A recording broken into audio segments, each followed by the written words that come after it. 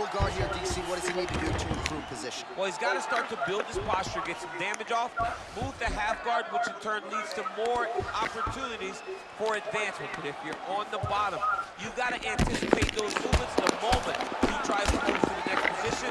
You build a shield, get back to your feet, or dig an underhook to try to get a reversal or a sweep.